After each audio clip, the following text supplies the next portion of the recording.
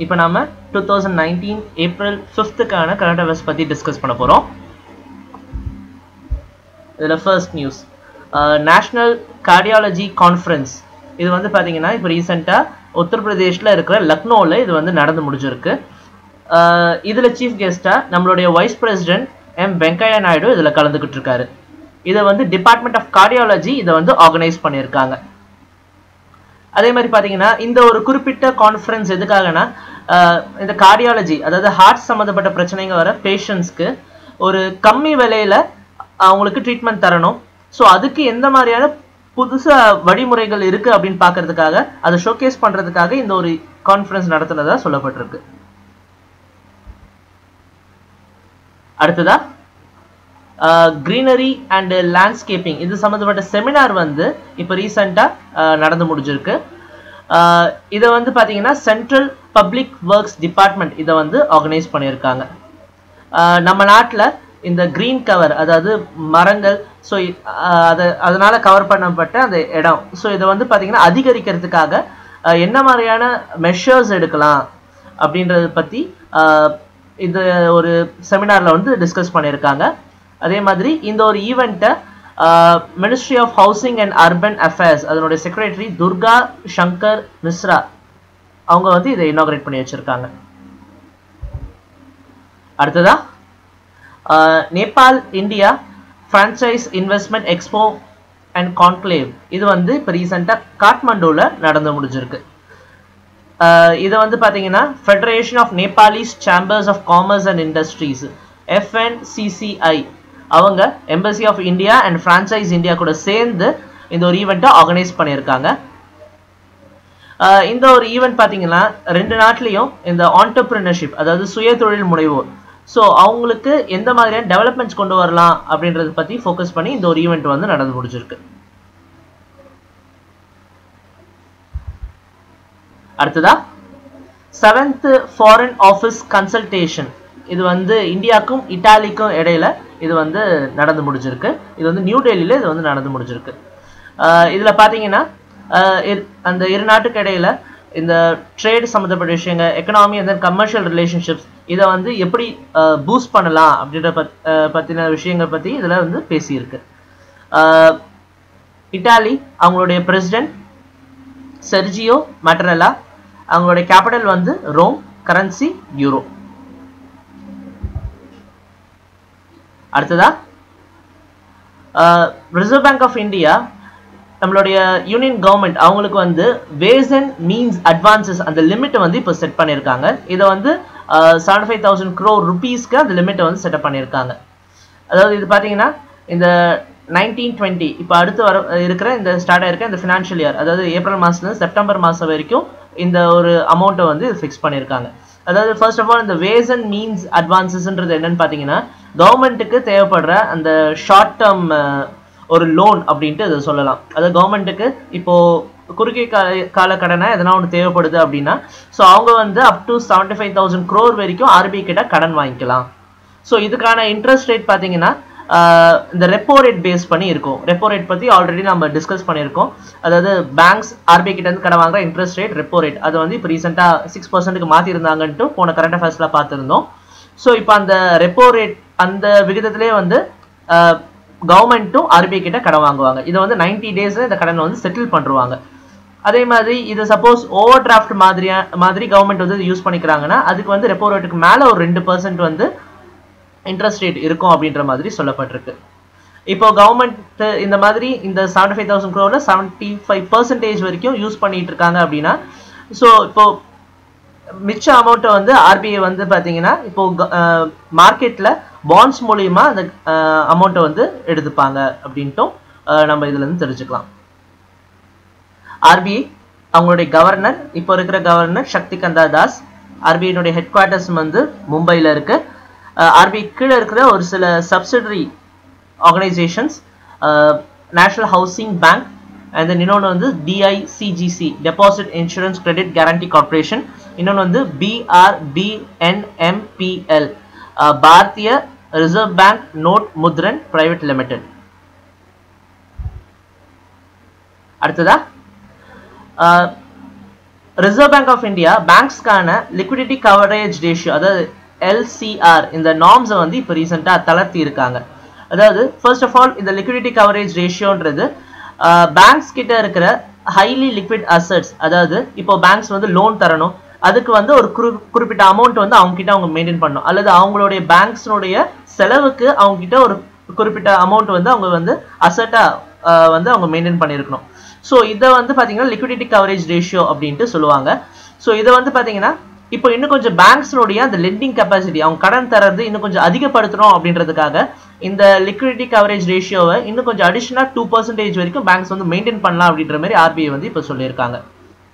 இது வந்து level one high quality liquid assets எல்லாத்துக்குமே இது வந்து பொருந்தும் அப்படின்ற மாதிரி ஆர்பிஐ வந்து சொல்லியிருக்காங்க. அடுத்ததா இப்போ ரீசெண்டாக கொஞ்ச நாள் முன்னாடி மீடியாவில் ஒரு ரிப்போர்ட் ஒன்று வந்து வந்திருந்துச்சு. அதாவது டிமானிட்டைசேஷன் அந்த ஐநூறுரூபா ஆயிரம் ரூபாய் நோட்லாம் செல்லாது அப்படின்ற மாதிரி அனௌன்ஸ் பண்ணியிருந்தாங்க கவர்மெண்ட்டு ஸோ அதுக்கப்புறமா பார்த்தீங்கன்னா இந்த மாதிரி டேக்ஸ் பே பண்ணுறவங்க அவங்களுடைய அந்த எண்ணிக்கை வந்து கணிசமாக குறைஞ்சிருக்கு அப்படின்ற மாதிரியான ரிப்போர்ட் வந்து மீடியாவில் வந்திருந்துச்சு. ஸோ இந்த மாதிரியான ரிப்போர்ட்ஸ் வந்து தப்பு அப்படின்ற மாதிரி Central Board of Direct Taxes ஒரு நோட்டிஃபிகேஷன் வந்து வெளியிட்டிருக்காங்க. அதாவது இதன்படி பார்த்தோன்னா ஆல்ரெடி டேக்ஸ் கட்டிட்டு இருந்தவங்க அவங்களோட அந்த எண்ணிக்கை குறைஞ்சிருக்கு அப்படின்றது தான் இந்த ரிப்போர்ட்டில் சொல்லியிருந்தாங்க. ஆனாலும் இப்போ புதுசாக டேக்ஸ் பேயர்ஸ் பார்த்தீங்கன்னா one point zero seven crore tax payers வந்து புதுசாக என்ரோல் ஆயிருக்காங்க அப்படின்ட்டு சிபிடிடி வந்து சொல்லியிருக்காங்க. அதே மாதிரி அதுக்கு எதிர்மாறா இந்த டேக்ஸ் கட்டியிருந்தவங்க அதை வந்து கட்டாமல் விட்டவங்க அந்த லிஸ்ட் பார்த்தீங்கன்னா இப்போ வந்து twenty five point two two லேக்ஸ்க்கு இது குறைஞ்சிருக்கு அப்படின்ட்டு சொல்லியிருக்காங்க. இது வந்து இந்த கடந்த இந்த செவன்டீன் எயிட்டீனில் இந்த ஒரு டேட்டா வந்து இது சம்மந்தப்பட்ட டேட்டா வந்து ரிலீஸ் பண்ணியிருக்காங்க.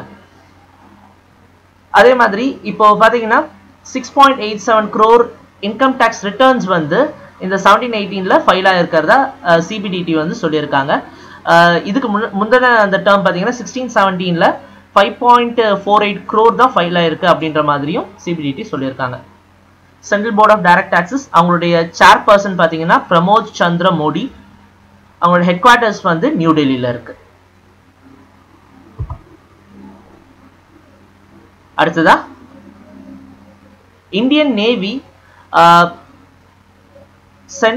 centre for science and industrial research அவங்க கூட சேர்ந்து ஒரு எம்ஓயு வந்து சைன் பண்ணியிருக்காங்க. இது எதுக்காகன்னு பார்த்தீங்கன்னா இந்தியன் நேவியில் தேவைப்படுற அட்வான்ஸ் டெக்னாலஜிஸ் அது சம்மந்தப்பட்ட ரிசர்ச் அண்ட் டெவலப்மெண்ட் இதை வந்து இன்னும் கொஞ்சம் முன்னெடுத்து கொண்டு போகிறதுக்காக இந்த ஒரு எம்ஓயு வந்து சைன் பண்ணியிருக்கிறதா சொல்லப்பட்டிருக்கு.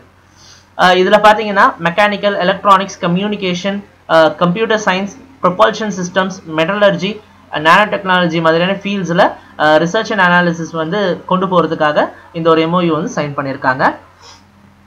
இந்தியன் நேவி நம்மளுடைய chief of naval staff admiral Sunil Lanba CSIR அவங்களுடைய பிரசிடென்ட் வந்து நம்மளுடைய இப்போ இருக்கிற prime minister Modi. And then அவங்களோட டைரக்டர் ஜெனரல் பார்த்தீங்கன்னா ஷேகர் சி மாண்டே அடுத்ததா?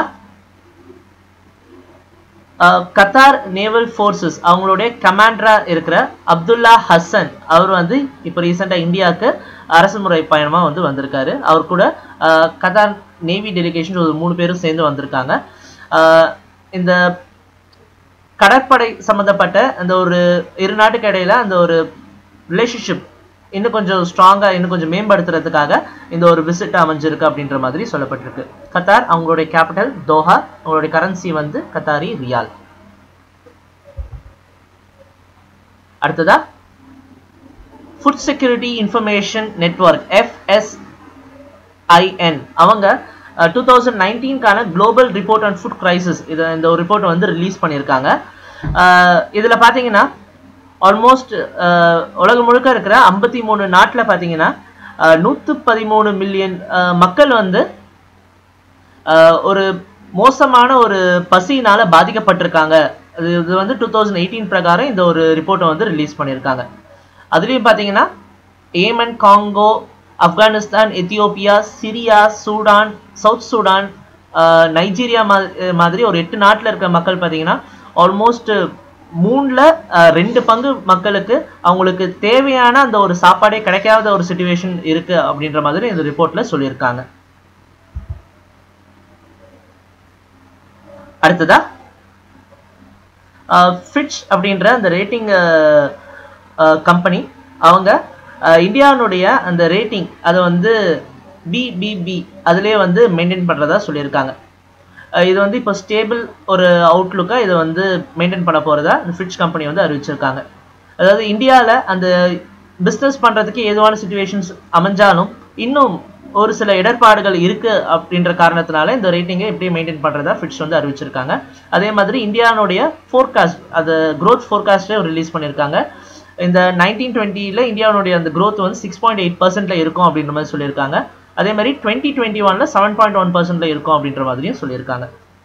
ஃபிட்ச் இந்த கம்பெனியினுடைய பேரண்ட் கம்பெனி பார்த்தீங்கன்னா ஹர்ஸ்ட் கார்பரேஷன் அவங்களோட ஹெட் குவார்ட்டர்ஸ் வந்து யூஎஸ்ஏல இருக்குது நியூயார்க்கில் இருக்குது அவங்களுடைய சிஇஓ வந்து பால் டெய்லர் அவங்களுடைய பிரசிடென்ட் வந்து அயன் லினல் அடுத்ததா life insurance corporation of India அவங்களுடைய நியூ மேனேஜிங் டைரக்டரா விபின் ஆனந்த் இவர் வந்து அப்பாயிண்ட் பண்ணியிருக்காங்க. இவருக்கு வந்து ஆல்மோஸ்ட் பார்த்தீங்கன்னா எல்ஐசியில் ஒரு தேர்ட்டி ஃபைவ் இயர்ஸ் சர்வீஸ் இவருக்கு இருக்குது இவர் வந்து இப்போ ரீசெண்டாக எம்டியாக அப்பாயிண்ட் பண்ணியிருக்காங்க. எல்ஐசி அவங்களுடைய சேர்மேன் வந்து எம்ஆர் குமார் அவங்களுடைய ஹெட் குவார்ட்டர்ஸ் வந்து மும்பையில் இருக்குது எல்ஐசி அவங்களோட டேக்லைன் வந்து ஜிந்தகி கே சாத் பி ஜிந்தகி கே பாத் பி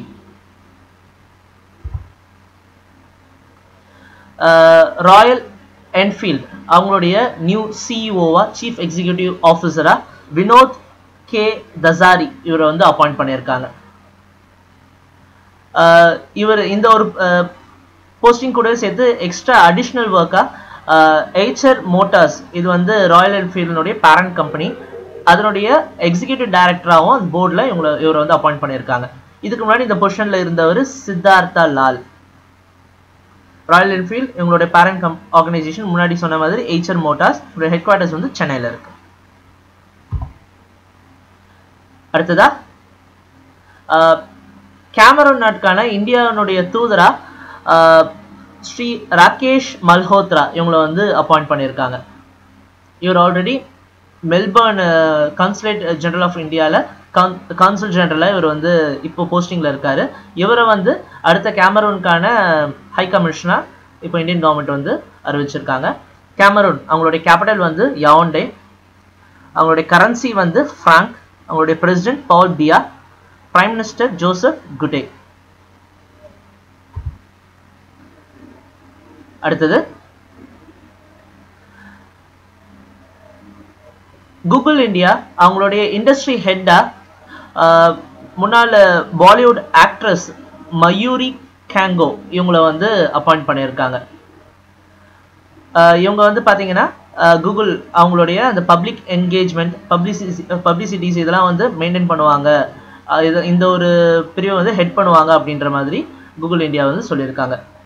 கூகுள் அவங்களுடைய சிஇஓ சுந்தர் பிச்சை அவங்களுடைய பேரண்ட் கம்பெனி பார்த்தீங்கன்னா அல்பபெட் இங்க் அவங்களோட ஹெட் குவார்ட்டர்ஸ் வந்து கலிஃபோர்னியாவில் இருக்குது அடுத்ததா ரிலையன்ஸ் ஜியோ டிஜிட்டல் அவங்க ஹாப்டிக் அப்படின்ற ஒரு சாட்பாட் ஸ்டார்ட் அப் ஒன்றத்தை வந்து அக்வயர் பண்ணியிருக்காங்க இதை வந்து பார்த்தீங்கன்னா ஆல்மோஸ்ட் செவன் ஹண்ட்ரட் க்ரோ ருபீஸ்க்கு இதை வந்து வாங்கியிருக்காங்க. ஸோ இதை தொடர்ந்து பார்த்தீங்கன்னா ஹாப்டிக் அந்த கம்பெனியில் ஆல்மோஸ்ட் எண்பத்தி ஏழு சதவீதம் அந்த ஸ்டேக் பார்த்தீங்கன்னா ரிலையன்ஸ் ஜியோ டிஜிட்டல் அவங்க கையில் இருக்கும் அப்படின்ற மாதிரி சொல்லப்பட்டிருக்கு. ரிலையன்ஸ் ஜியோ அவங்களுடைய ஹெட் குவார்ட்டர்ஸ் பார்த்தீங்கன்னா நவி மும்பை மகாராஷ்டிராவில் இருக்கு அவங்களுடைய பேரண்ட் கம்பெனி ரிலையன்ஸ் இண்டஸ்ட்ரீஸ் அடுத்ததா? Centre for cell and molecular biology so இது இந்த ஒரு ஆர்கனைசேஷனில் இருக்க சயின்டிஸ்ட் இப்போ ரீசெண்டாக ஒரு நியூ என்சைம் ஒன்று வந்து கண்டுபிடிச்சிருக்காங்க. அதனுடைய பெயர் பார்த்தீங்கன்னா மியூரியன் எண்டோபெப்டிடியாசிக் அப்படின்ற ஒரு நியூ என்சைம் இதை வந்து கண்டுபிடிச்சிருக்காங்க. இது எதுக்காகன்னு பார்த்தீங்கன்னா இப்போ ரீசெண்டாக நம்ம கேள்விப்பட்டிருப்போம் இந்த பாக்டீரியாஸ்லாம் பார்த்தீங்கன்னா நம்ம யூஸ் பண்ணுற அந்த மருந்துகளுக்கு எதிராக ஒரு ஆன்டி பாக்டீரியல் ரெசிஸ்டன்ஸ் வந்து கிரியேட் பண்ணிட்டு இருக்கு அதாவது நம்ம போடுற மருந்து பார்த்தீங்கன்னா அவ்வளோ சீரியம் சீக்கிரம் அந்த பாக்டீரியாஸ் வந்து இன்ஃபெக்ட் பண்ணுறது இல்லை நம்ம இப்போ சப்போஸ் ஜுரத்துக்கு இப்போ மருந்து எடுத்துக்கிறோம்னா அது வந்து அவ்வளோ சீக்கிரம் வந்து வேலை செய்யறது கிடையாது. எதனாலன்னா அந்த அந்த பாக்டீரியாஸ்லாம் இந்த மருந்துக்கு எதிராக வந்து ஒரு ரெசிஸ்டன்ஸ் வந்து கிரியேட் பண்ணிக்குது. ஸோ பார்த்தீங்கன்னா இந்த மாதிரி அந்த பாக்டீரியாஸ் அதனுடைய அந்த ஒரு செல் வால் அதை வந்து பிரேக் பண்ணுறதுக்காக இந்த ஒரு என்சைம் வந்து யூஸ்ஃபுல்லாக இருக்கும். அப்படின்ற மாதிரி சயின்டிஸ்ட் வந்து இப்போ கண்டுபிடிச்சிருக்காங்க. சிசிஎம்பி இவங்களுடைய டேரக்டர் பார்த்தீங்கன்னா ராகேஷ் கே மிஸ்ரா இது வந்து ஹைதராபாத் தெலுங்கானால இது வந்து இருக்கு. அடுத்ததா? வாட்ஸ்அப் வந்து ஒரு புதுசாக ஒரு பிளாட்ஃபார்ம் ஒன்று வந்து வெளியிட்டிருக்காங்க. அதனுடைய பேர் வந்து செக் பாயிண்ட் டிப்லைன் அப்படின்ட்டு வச்சுருக்காங்க. இது எதுக்காகன்னு பார்த்தீங்கன்னா இப்போ அடுத்து வரப்போகிற லோக்சபா எலெக்ஷன்ஸ் ஸோ அதனால் வெளியே வரக்கூடிய அது சம்மந்தப்பட்ட இன்ஃபர்மேஷன்ஸ் அதெல்லாம் வந்து எந்த அளவுக்கு நம்பகத்தன்மை வாய்ந்ததாக இருக்குது அப்படின்றத பற்றி செக் பண்ணுறதுக்காக இந்த ஒரு பிளாட்ஃபார்ம் வந்து யூஸ்ஃபுல்லாக இருக்கும் அப்படின்ற மாதிரி சொல்லியிருக்காங்க. இப்போ ஏதோ ஒரு இன்ஃபர்மேஷன் வந்து பாஸ் ஆகுது அப்படின்னா இப்போ நம்ம இந்த ஒரு குறிப்பிட்ட செக் பாயிண்ட் டிப்லைன் அப்படின்ற இந்த ஒரு பிளாட்ஃபார்ம் யூஸ் பண்ணி அதனுடைய அந்த ஆதென்டிசிட்டி அதனுடைய அந்த நம்பகத்தன்மையை நம்ம செக் பண்ணிக்கலாம் அப்படின்ற மாதிரி வாட்ஸ்அப் வந்து சொல்லியிருக்காங்க.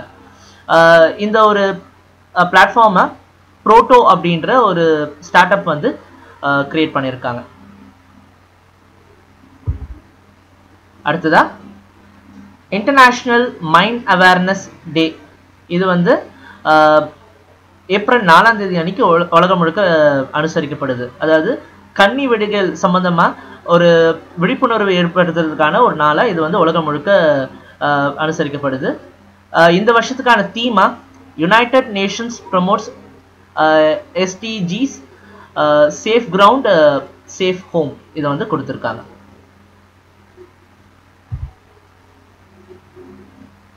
நன்றி. மீண்டும் அடுத்த வீடியோவில் சந்திப்போம்.